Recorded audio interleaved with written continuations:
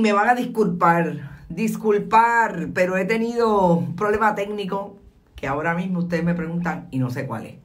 Pero bueno, estamos aquí. Perdonen los 15 minutos de retraso, pero he querido hablar con ustedes a las 5 de la tarde. Ya había preparado un programa con todo imágenes, pero ni modo, no es posible.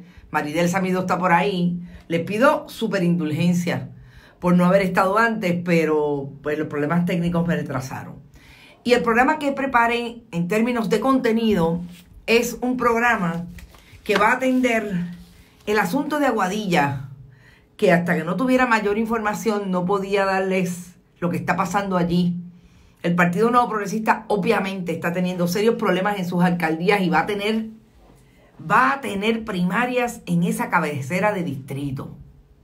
Por otro lado, quiero compartir lo que me parece que es interesante que está pasando en cuanto a la investigación de los suministros y cómo ahora todos los alegados eh, que sabían eh, y que debieron haber hecho y que la gobernadora votó, están saliendo a hablar sobre lo que ocurrió, sin que medie otro interés que no sea.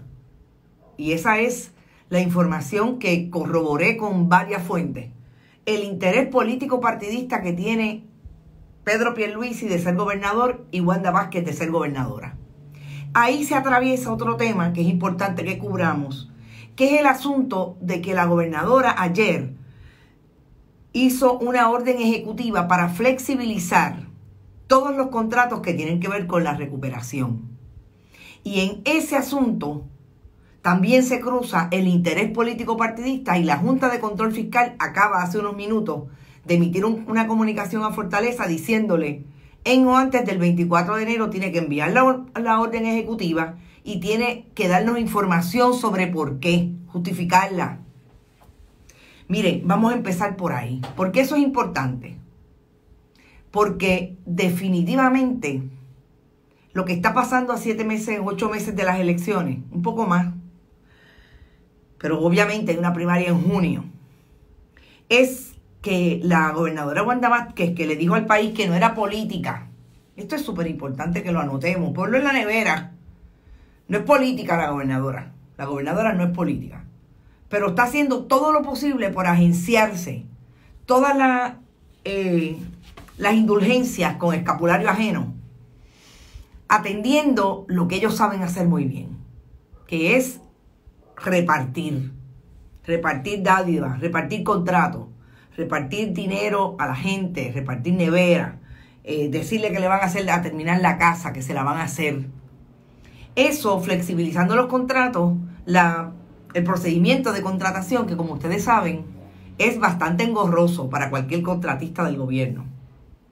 Robert Baldwin está por ahí, Nelson Maisonet, todo aquel que diga que no saldrá despedido, empezando por la gobernadora y Tomás Rivera Chats. Eso me imagino que lo estás hablando con relación al pueblo, porque ellos no se quieren votar a sí mismos. Wanda Vázquez no lo es, por eso estamos jodidos. No es política, ¿verdad? No se oye. Todo aquel que diga, no se oye, por eso estamos... Díganme si no se escucha.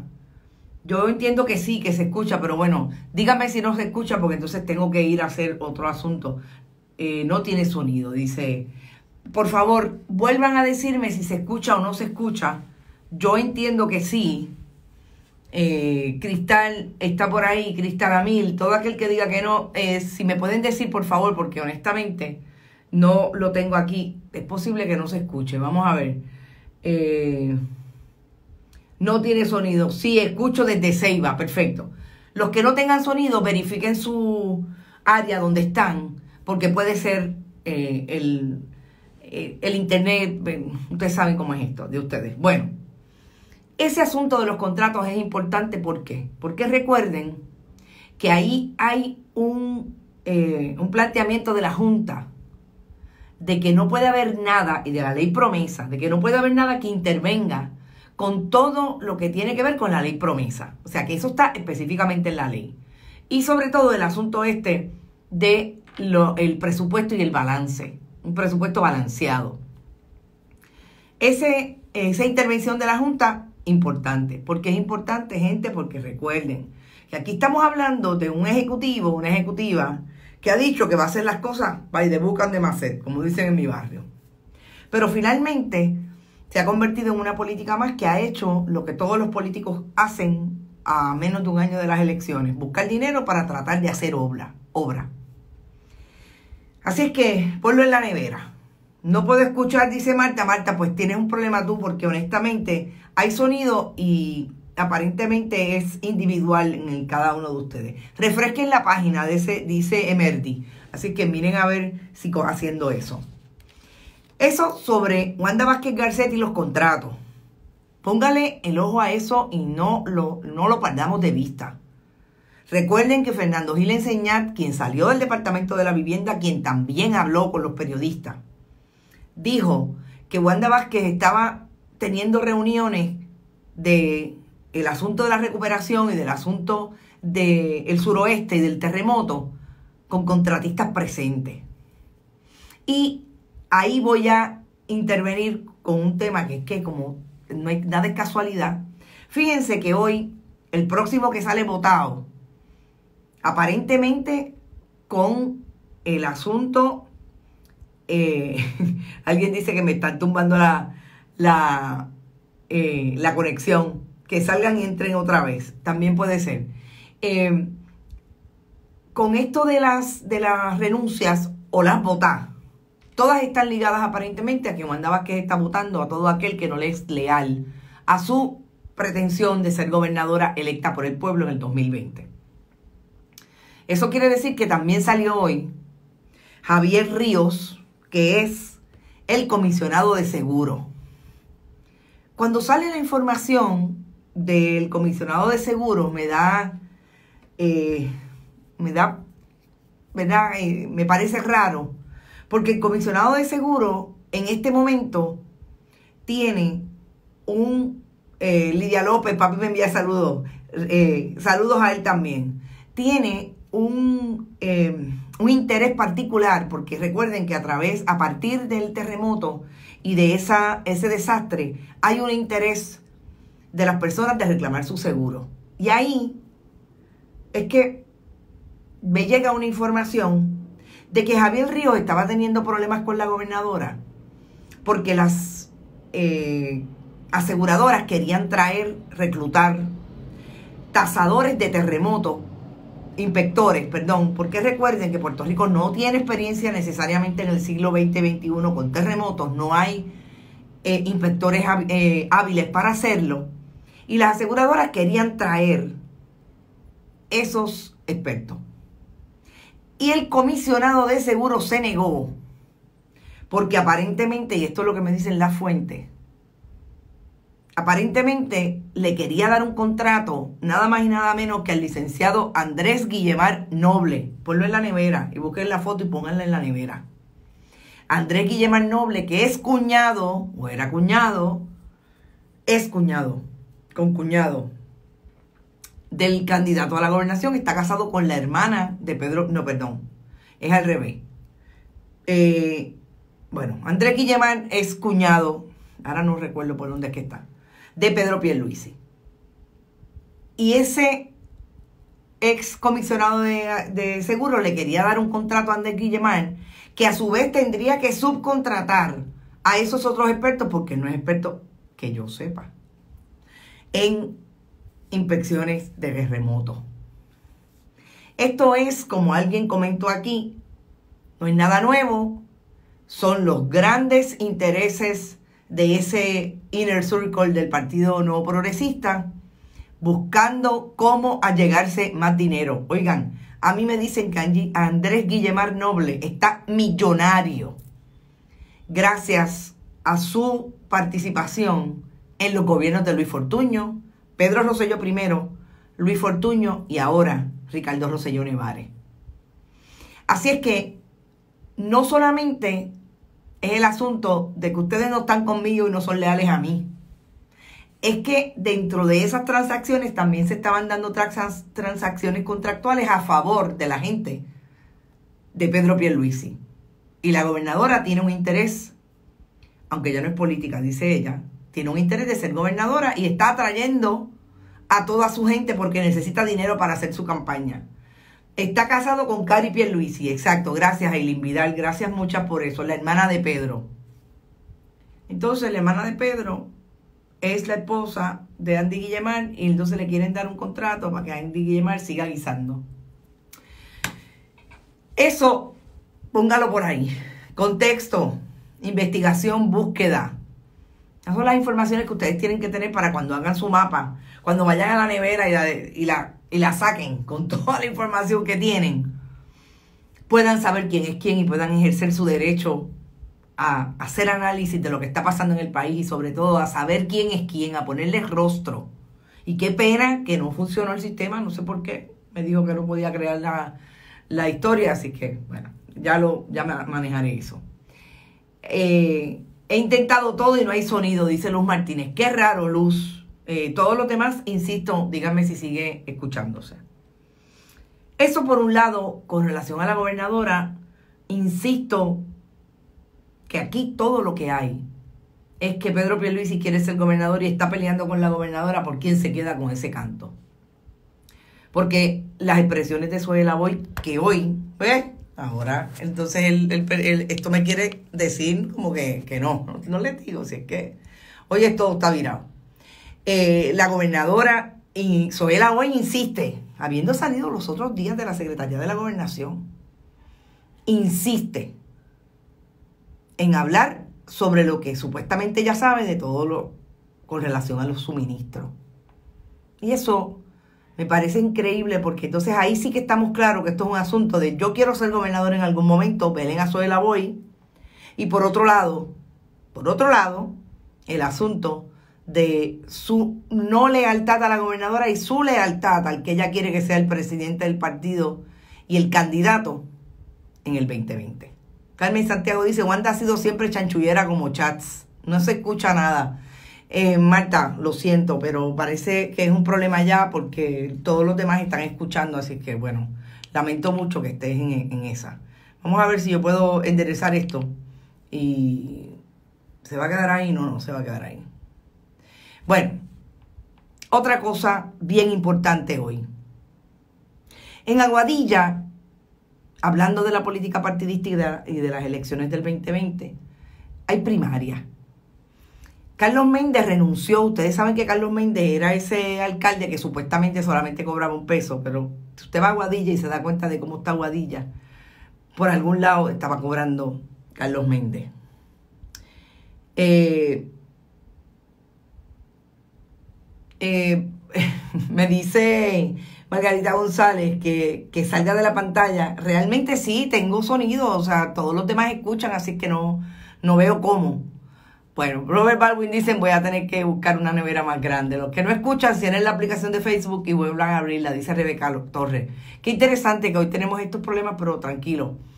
Insisto que en Aguadilla está pasando más o menos lo mismo que está pasando a nivel de la gobernación. Carlos Méndez quiere dejar supuestamente a Yanitzia Irizarri, contratista del municipio de Aguadilla, para que sea la candidata a, eh, a esa alcaldía por el PNP.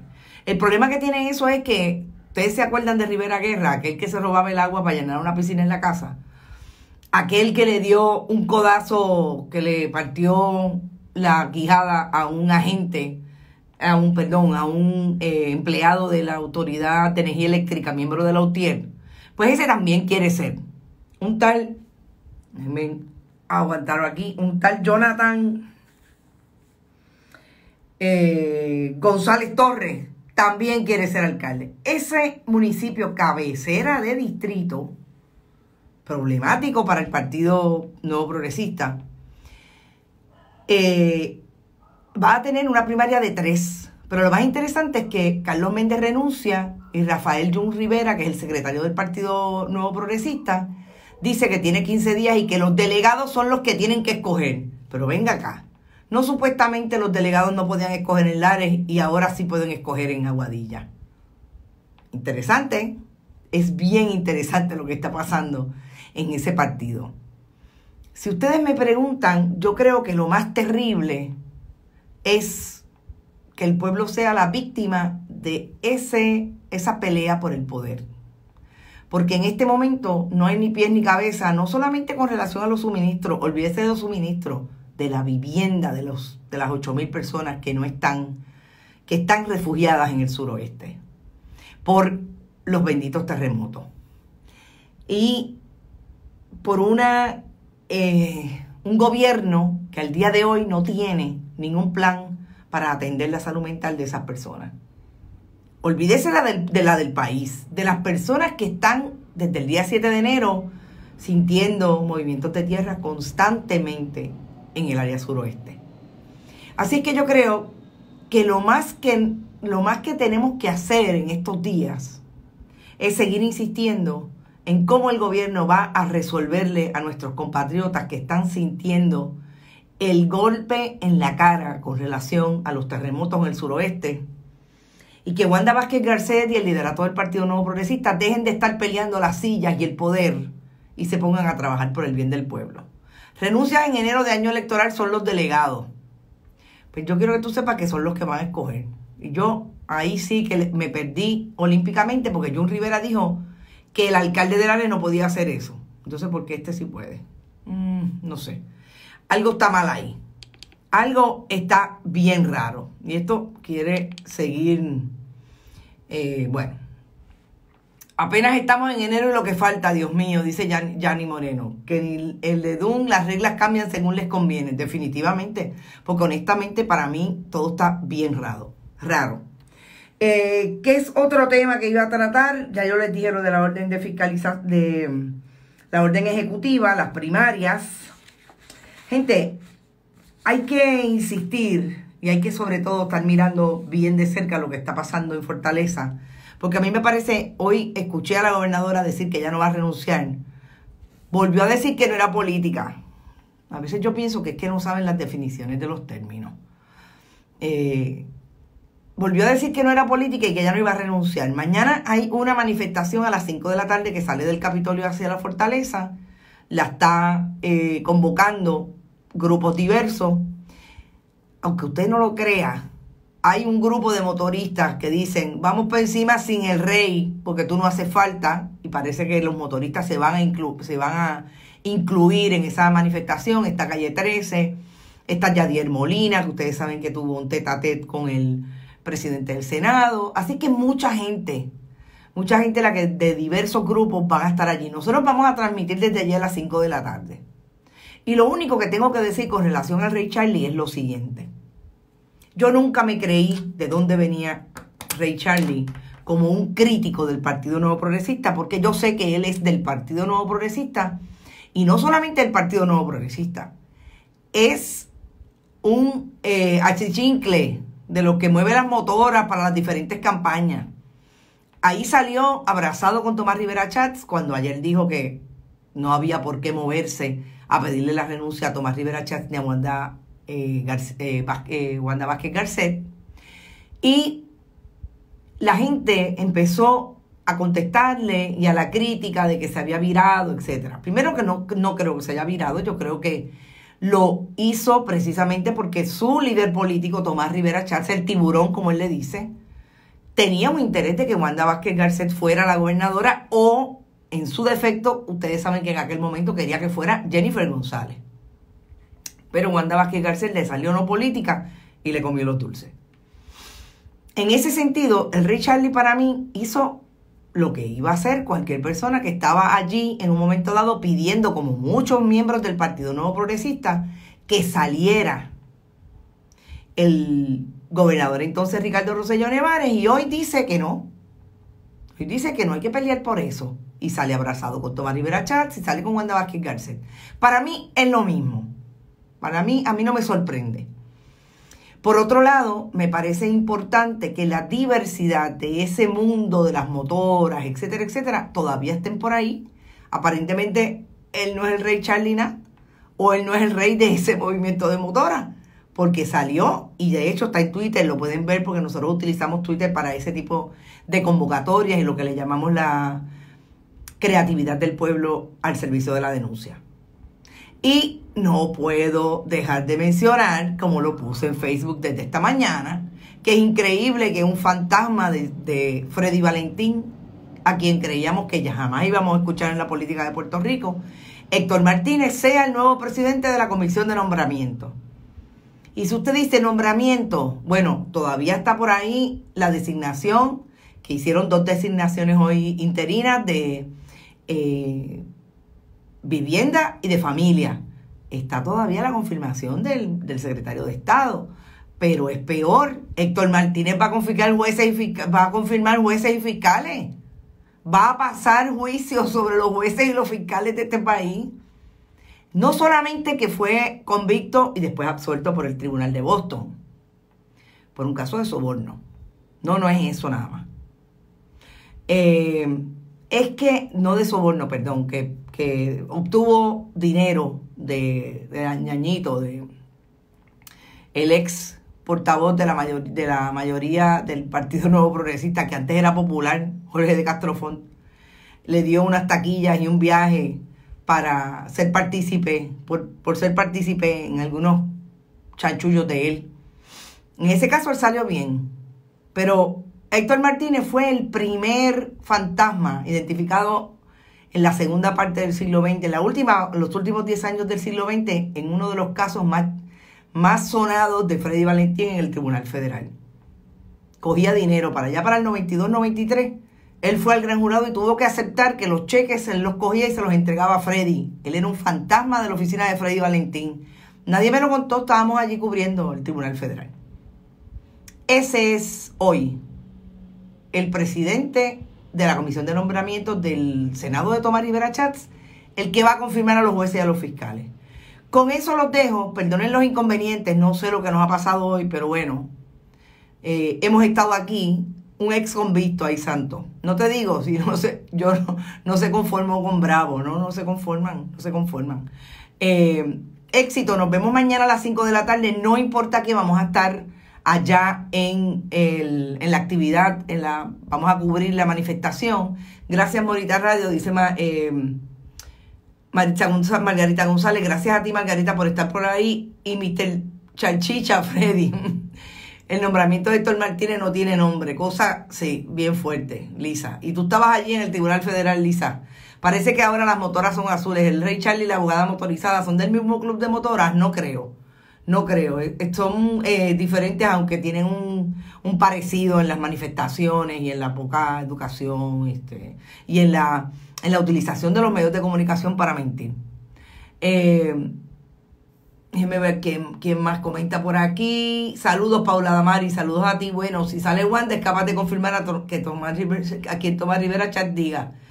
Eso es así. ¿Cuántos nombramientos de jueces faltan? Bastantes. Se llenan y recuerden que a ellos les toca, antes del 24 de diciembre, nombrar a la próxima jueza del Tribunal Supremo que se va, que es Anabel Rodríguez. ¿Ok? Así es que no se olviden de eso. Gente, nos vemos mañana. Espero que mañana tengan, no tengamos, tengamos un poco de suerte con los, live cuando estemos allá.